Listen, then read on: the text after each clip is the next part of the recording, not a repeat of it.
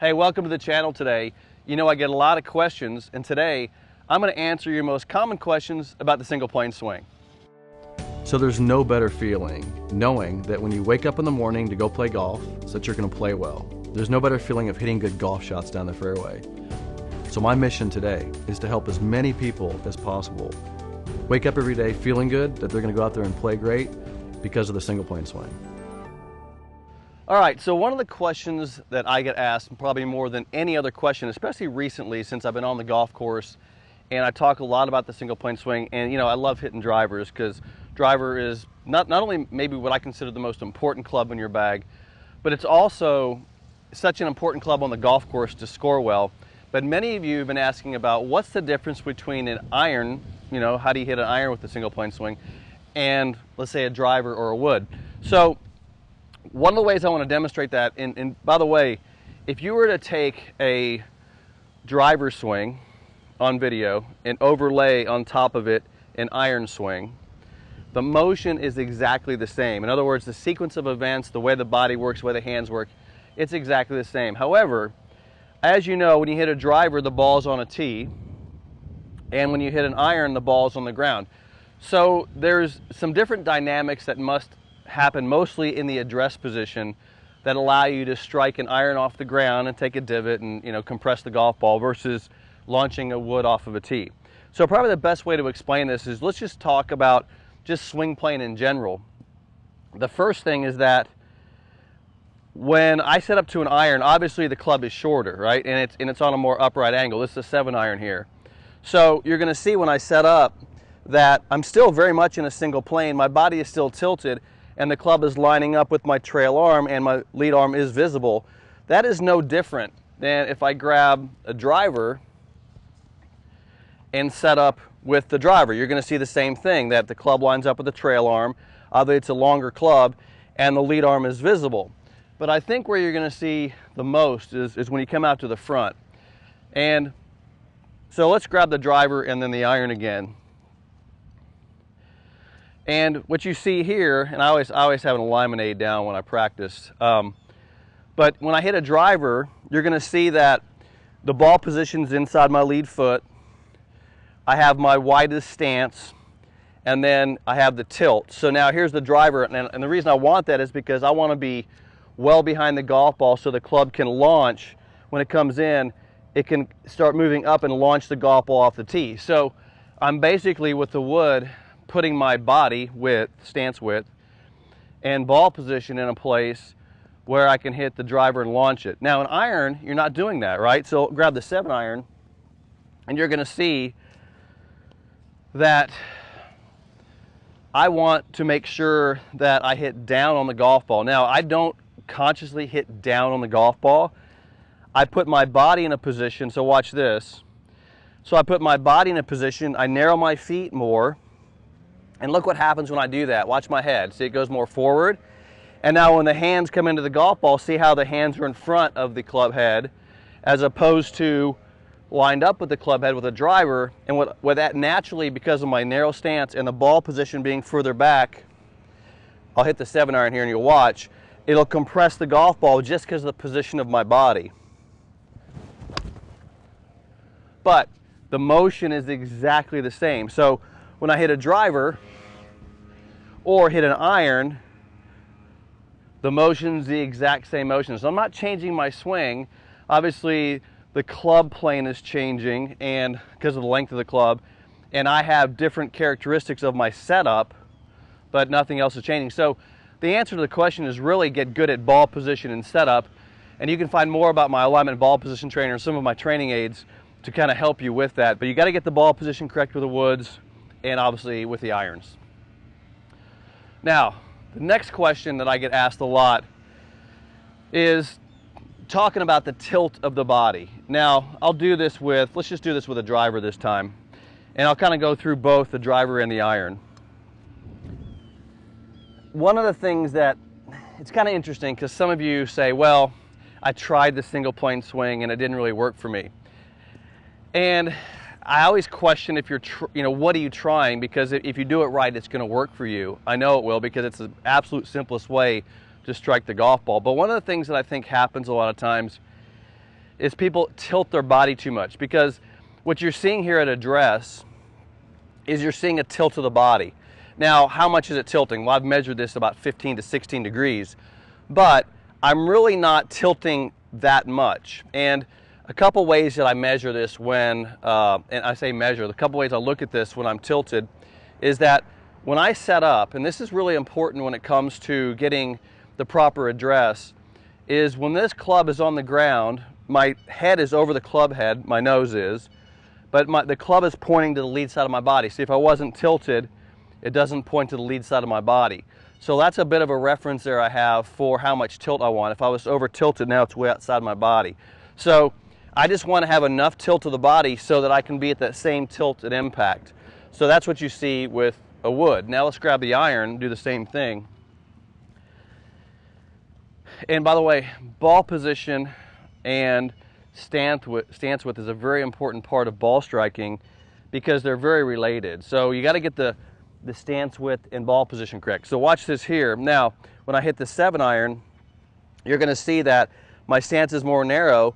The ball position is right here, five inches inside my lead foot. And what you get now is, see, the club is still pointing the same part of my body, so I'm not over tilting. And that allows me now to basically, when I get to the ball, compress it. And that's so getting the address and the proper tilt is very important, so don't over tilt too much.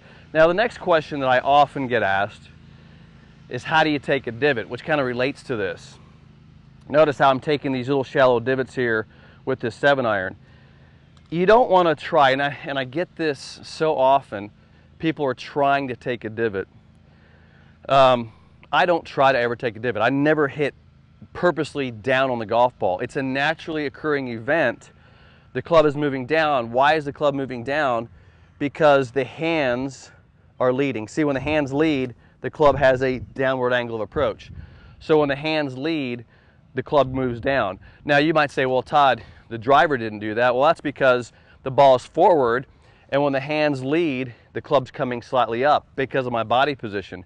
But because the ball position is back and my stance is relatively narrow, the handle of the club, the hands, will lead into impact. And when they do that, I'll do a little simple chip here, they compress and they'll take a slight divot.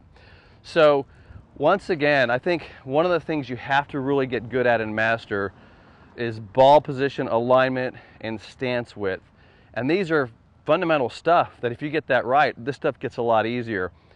But then again, when I watch people practice, this is the stuff they seem to always get wrong. So really get good at alignment, ball position, and stance width, and you'll start taking a, naturally occurring divot because your hands will lead. Now, let me talk about how to get the hands to lead, which would be the next conversation, because some people, some of you had mentioned the fact, and one of the questions you ask is, how do you stop the release early? Now, this is an interesting conversation because I have this conversation a lot with uh, other instructors because they everybody has this uh, this common thing that they see when we're teaching is people tend to release early. Now here's what I've discovered about releasing early. Let's just let's just define what it is first. Releasing early is when the hands, when you're coming down, the hands slow down too soon and the club head gets in front of the hands. And it can cause a fat shot, you hit behind it, it can also cause a thin shot where you hit on top of it. There's a lot of things that occur when you release the club too early. Um, here's what's interesting, and this has been some of my research about how to stop the release early, and I'll give you a, a solution for that today, is it's really not about holding angles or releasing early. It's not really about can you hold these angles longer. And by the way, if you're doing that, that's a really, really big mistake. It's not about holding angles. And anybody I see try to do that just overcomplicates the matter dramatically. What it is though, it's think let's let's let's just think through this with me for a minute. If I take the club back, my hands, where they are, hands, shoulder, torso have a relationship, right? And when I move the body and I come down into impact, the hands are leading, I come into impact, my hands, body, and shoulder have the same relationship here. So there, we call this keeping the club in front and then returning the club in front of your body. So wouldn't you think that if anybody releases early, this relationship is changing. Well, it does, and here's what happens. And this is kind of what my research says is that it's because your torso is stopping too soon. So if this upper body stops too soon, then the only thing left to go are the hands, and that's why you release early. So the solution to releasing the club early or getting the hands to lead, which is what you want, the solution is to make sure that the torso is opening up all the way through here. Now, I don't want you to run to the range right now and start spinning your body out. That's not really the solution. Here is the solution though. Most people who tend to release early are over moving the backswing. In other words, they take it back too far and then they under move in the downswing. In other words, they go too far and then they stop too soon and the hands release early. So here's really what I want you to try to do. I want you to go to the range today if you got a chance and I want you to make the absolute shortest backswing you can. But I may videotape this so you can watch it. It's not going to be that short. I want you to go make the shortest backswing you can. Let's say it's right here, and then swing through. And what you'll find is that in order to get the hands moving, the torso has to get more open and the hands move. See, I'm, I'm, I'm, not, I'm not necessarily trying to shorten your swing, which is going to happen here. I'm trying to time up the hands with the torso so they can lead. That's, what, that's the way I would solve the problem of releasing early and hitting it fat and hitting it thin is to get the hands and torso in the proper relationship and get the torso opening, opening up through impact. By the way, the torso has 30 to 35 degrees of rotation at impact. So the torso is going to be opening here. And we, the only way I can get the hands to lead is the torso opening up through impact. So that would be the solution for the release early. Now, that goes along with the next question of I keep hitting it fat. And let's talk about, you know, hitting behind the golf ball. Let's talk about that one because it relates to the releasing early. But why do why do sometimes you have so much trouble releasing the club early is because what happens with lower body. Think of it this way. There's a sequence of events, lower body, upper body, arms, hands, club. So there's a sequence of events occurring. And it, we're trying to we're trying to get the club to hit the golf ball. But if the lower body is incorrectly moving, then the upper body has to make some kind of compensation for it. So here's a solution that'll help you get, get this body, upper body moving correctly, is how the lower body works. And by the way, review some of my videos on the channel because I talk about lower body quite a bit. Most of this stuff, and, you might be new to the channel, so you haven't maybe reviewed much, many of my videos, but I cover a lot of this stuff. Go back through my videos on the channel and take a look. Um, so let's talk lower body. Now, here's what I recommend with lower body. We have to get the lower body stable in the backswing and then stable and rotated in the downswing. So those two things, stable and rotated. Why do I want that? Because if this rotates and is stable, this upper body can then rotate and the hands can lead and you'll stop hitting behind it. So watch me hit this shot here and you're gonna see that I'm gonna move into a flex lead knee and I'm going to keep it flexed as I rotate through because what it's doing is allowing me to rotate, but it's, it's a limitation which I call stability. So let me hit this and you'll see me get through it here, rotated and stable. And see what you see there is this. You see me move into the knee, rotate, and the hands can then deliver the golf club because the body is getting to an open position. Now, I want to just kind of review this for you um, that we're creating a bottom of the golf swing. What is the bottom of the golf swing? It's being produced from the, the only straight line you have is uh, at impact is between this shoulder, the arm, and the club. This is creating an alignment, right? Well, if I have a seven iron and I have the ball too far forward, you'll notice there's no way to get to that ball and create an alignment because the club's coming out of the ground. So if I put the ball in the correct place, now it can create an alignment at an angle, which is why I now compress the golf ball. So a lot of what I'm teaching you is what's happening with this lead arm and how I get my body in position to return it to square. Now, one more question I get asked a lot, and this is a, this is a big one. I'm gonna take my glove off for this one. This is about lead hand position. Now, I probably, when I teach a golf school, generally there's between 10 and 15, maybe even 20 students in a golf school program. And people tend to hook the golf ball. In other words, they start, which is not a bad thing. I mean, you, you, if you're a slicer of the golf ball and you start hitting it to the left, sometimes you're pretty happy. But people always mention, well, when I start the single plane swing, I start hooking it. All right. Well, the only way you can really, really hook the golf ball dramatically is with club face. Now, having said that, the only way you can have the club face closed is the relationship of the lead hand and arm to the club face. So generally speaking, the lead hand gets too strong. And sometimes I see this. So remember what I said earlier in this segment was people tilt too much. And when you tilt too much, this hand tends to get here, and then people grab the club. Notice how now this hand's very strong, and the club face is very closed. So when it realigns, you see it close the club face. When this tries to line up with the shaft, it closes the face. See how too much tilt equals strong hand equals closed face. So what you get a lot of times is this kind of sequence of, well, if one thing is wrong, then all of a sudden everything starts becoming wrong. So, having said that, let's talk about the lead hand position. The lead hand position, I, I don't teach grip and address. I teach address then grip. And so and there's a big difference because and for all the conventional instructors out there, and for those of you who have taken conventional lessons, this is probably where I get into a little bit of a conversation because uh, the grip, when you take your hands and you put them on the golf club, you are building a relationship to the club face. But not only that, you are building a relationship to how the body must orient, rotate, tilt, and bend, must orient itself to how you hold the club. Keep this in mind because people always say to me, well, I'm gripping the club fine. Well, it doesn't matter. You know, the grip is part of the equation. The entire equation is how are you orienting your body and then gripping the club. Because watch what I do here.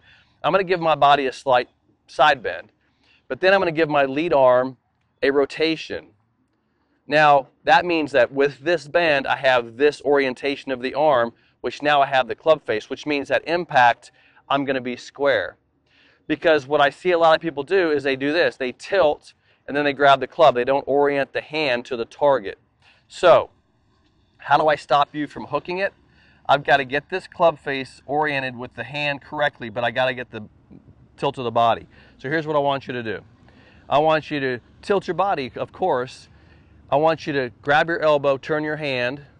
See, the reason I'm holding here is I'm isolating. God, I want you to do this. I'm isolating the upper arm and shoulder and rotating the hand gripping the club, and now what you have is a tilted body and an orientation of the club face to the target. And now, guess what? Now, because of the tilt, look at this hand, it comes from underneath, and now you have a perfect single plane address position, which when you get to impact, look how square that club face is going to be. And here we go again. Perfectly straight shot. So notice how body position, orientation, all those things have to match up. Which leads me to the next thing that I hear from you on the channel quite a bit is you say, well, I tried parts of the single plane swing. In other words, I have a hybrid. I heard a guy the other day say I have a hybrid swing.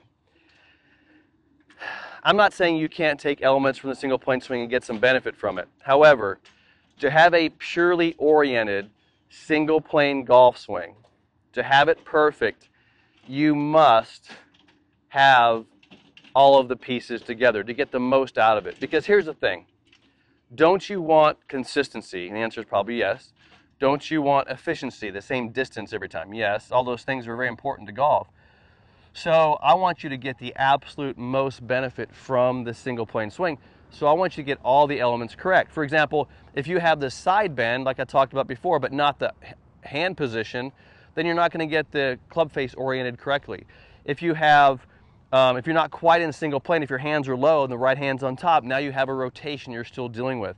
So I'm not saying that you didn't run to the range and get some benefit from it, but my, my point is, is that to really, really be good at this, you need all these elements correct. And to run to the range, I had a guy the other day, he says, well, I tried it and it didn't work. Well, here's the thing. First of all, did you actually try it? And the answer is no, you didn't get it right, because if you would have gotten it right, it would have worked. Second thing is, can you just try it one time on the range and get it right? That's like me saying, and, I, and I, this is why I responded to the, to the uh, question was, it'd be like me saying, I'm gonna go get in shape and I eat a salad and wonder why I'm not in better shape from eating a salad. I mean, you, you have to be consistent and get it right, and that takes some time. just like when you make any changes. So if you're going to make the change to a single plane swing, please get it right. And then tell me how it's working because I know, absolutely know 100% that it's going to work for you if you get it right. All right. So the final thing, and, and one of the questions I get asked, and then I want to take you on the course, by the way. There's some things it's like side hill lies. We can cover those on the golf course. I'll take you out there. We'll do that. Um, but before I talk, the last thing I want to talk about is just lower body positioning. And, and by the way, this is on my channel as well. One of the things I think is critically important to get the swing right with a single plane swing is, and I'm going to have uh, you come back here and take a look, is now that you're in single plane, and I'll show you what I mean by this. Let's just review single plane because there's, there's some elements here. And this kind of goes with my conversation of making sure you're getting everything right. When you're in single plane, which means you've got out of two plane and you're into a single plane position, your body tilt is correct, and you're in this nice single plane position. So you've actually created more space from the golf ball. In other words, you were close to the ball and now you're slightly further away. Okay, so you got more space. Now, if, you if your swing was conventional, previously it probably was, what's happening to you is that you've learned to move away from the golf ball to get to the ball. So so you've moved away from it. In other words, if you're a conventional golfer and you stood with your arms hanging straight down, you've learned to, to jump or move your body in a way to get away from the ball. You're too close to it. So think about this. Now that you've moved slightly away from the ball, and now you're in a single plane, you can now move down to the golf ball. You got to get you got to get go the opposite direction. No longer do you need to move up. Now you've got to move down. Well, how is that happening with a single plane swing? And it's pretty simple, although this is probably going to be the challenging thing for you because if you're a jumper, a guy who's been jumping the whole time to get to the ball, you're now going to have to change the way you approach hitting the ball. Here's how you do it. Basically, there's two things you focus on. One is the lead knee being flexed. It's pretty simple. Lead knee flexes.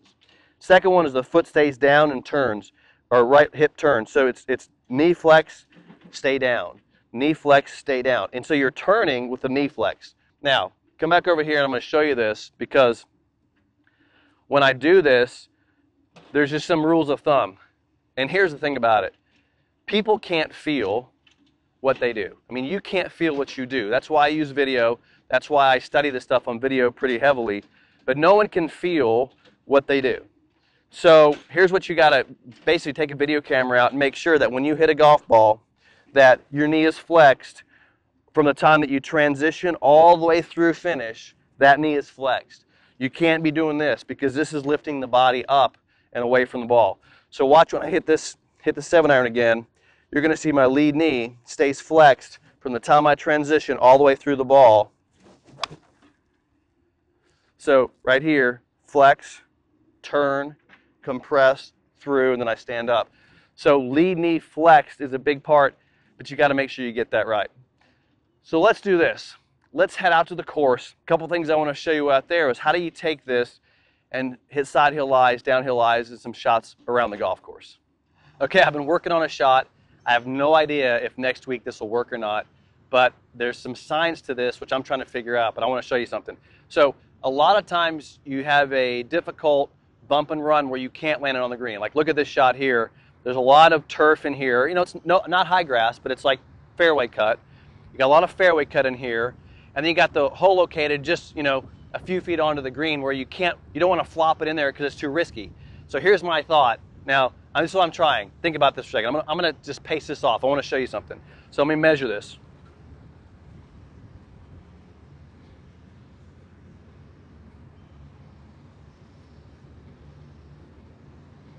So it's close to 20 paces. Now watch.